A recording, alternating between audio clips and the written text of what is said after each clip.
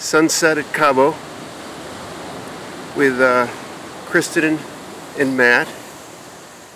What do you have to report to the fans back home? Uh, everyone should move to Cabo. Or come with Having the a great time. Come And- with the Kramers. And why is that? Uh, the warmth, the people, the beauty, the water, the tequila. It's all good. There's no reason not to be here. Come on down, folks. and party with the Kramers. Party with the Kramers. Are you surviving it? Barely. last night, last night was um fun, and we barely survived it.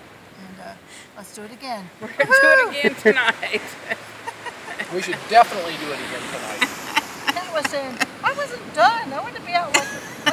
I know, we could have gone to Cabo Wabo last night. We, we That would have been the thing. Go directly from the state of mind you're in. Ugh. go to Cabo Wabo.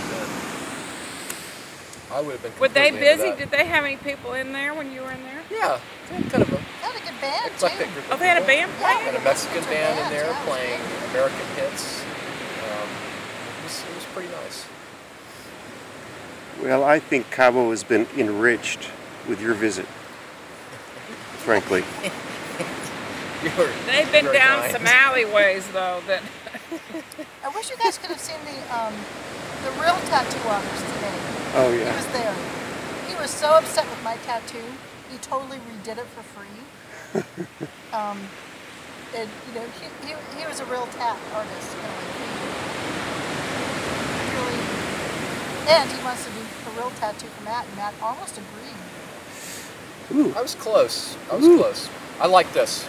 This is what I want as a real tattoo. We'll finish this video with this tattoo. This brings out the Mexican macho in Matt. Say ho! Amen.